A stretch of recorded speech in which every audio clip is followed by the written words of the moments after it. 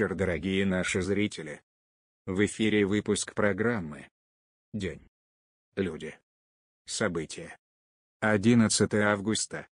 11 августа 1959 года советский лайнер Ту-104, вылетевший из Ленинграда, приземлился на Шереметьевском аэродроме, где службами аэропорта был впервые выполнен комплекс коммерческого и технического обслуживания. Эта дата считается днем рождения аэропорта Шереметьево. 1 июня 1960 года был совершен первый международный рейс в Шереметьево по маршруту Москва-Шенефельд. В октябре 1967 года экипаж самолета Ил-62 выполнил первый рейс в Париж, а в ноябре 1967 года состоялся первый рейс в Нью-Йорк. 6 мая 1980 года, в преддверии 22-летних Олимпийских игр, был открыт второй международный терминал, Шереметьево-2. 18 июля 1980 года в аэропорту было обслужено свыше 8 тысяч зарубежных гостей столицы Олимпиады. За время проведения Олимпийских игр аэропорт обслужил более 460 тысяч иностранных пассажиров.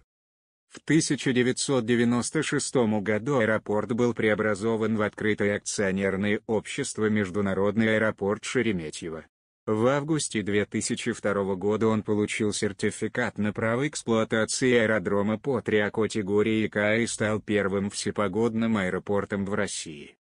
Сегодня Международный аэропорт Шереметьево, крупнейший российский аэропорт по обслуживанию регулярных международных рейсов, его маршрутная сеть составляет более 200 направлений. Почти 150 авиакомпаний выполняют полеты из аэропорта Шереметьево в более чем 100 стран мира. Также это и крупнейший по площади аэровокзальный комплекс страны. Пять пассажирских терминалов, терминалы А, С, Д, Е, Ф, общей площадью свыше 480 тысяч кв метров и пропускной способностью более 40 миллионов пассажиров в год, а также грузовые терминалы Москва-Карго и Шереметьево-Карго.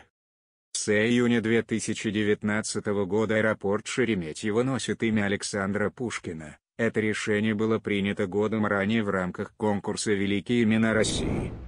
Понравилось наше видео? Подписывайтесь на наш канал и ставьте лайк.